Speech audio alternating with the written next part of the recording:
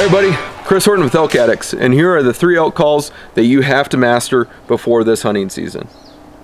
The first call we're going to talk about is the standard cow mew. This is a cow call that all cows use. They vary in pitch and tone, um, depending on age of cows, and it's used year-round to communicate back and forth. It's very simple. It's a simple one note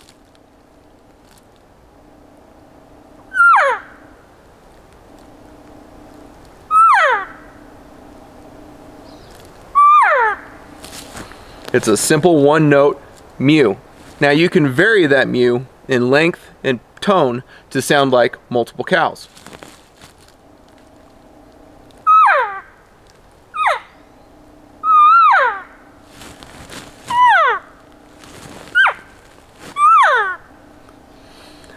And that's how you create herd talk. To be able to get that good consistent yeah, what you have to do is you actually drop your jaw.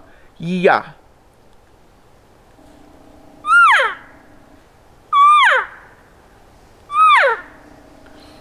Dropping the jaw is what allows us as humans to get that consistent iya out of a diaphragm.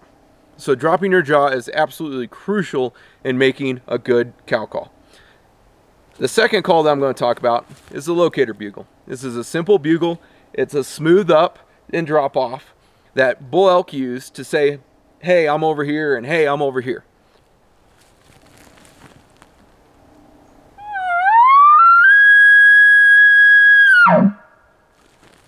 That is all when a bull is saying, hey, I'm over hanging out in this area. And then oftentimes that's when the bull will respond to say, well, I'm over here. Don't come over here.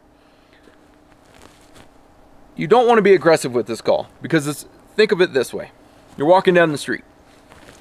Somebody's on the other side of the street and they go, hi, how's it going? You're a lot more likely to say, hi, how's it going? Than if they go, you're gonna be like, oh, hey, I'm keep walking. Elk act much the same way. You come at them too aggressively, too early. A lot of times they'll shut up, not say anything, move out, something along those lines. The third call that we're going to talk about is the challenge bugle. This is a bugle that you use when you have an actively fired up bull. You're telling this bull, I'm going to fight you, I'm going to take your cows, you have to fight me, you have no choice. And that's when you're trying to close, create close contact, and get your shot. It's a much more aggressive bugle, and this is a, the bugle itself.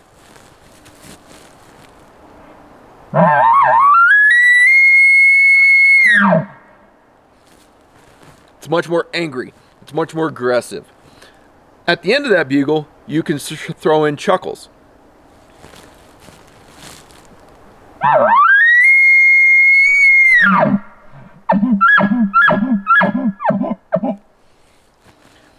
Now, if you're going to do that, make sure you get a good cutoff, right? Bulls are a big animal, and they use their diaphragm to do that.